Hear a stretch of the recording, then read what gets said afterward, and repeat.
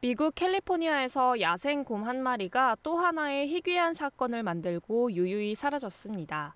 주택가를 어슬렁거리던 곰은 난데없이 입에 냉동치킨 한 봉지를 물고 나타나는데요.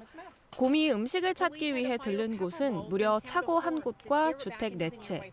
그 모습을 본 경찰이 요란한 경적을 울리고 고추공을 발사했는데요. 행동은 대담했지만 곰은 결국 겨우 얻은 음식을 떨어뜨리고 달아났다고 하네요.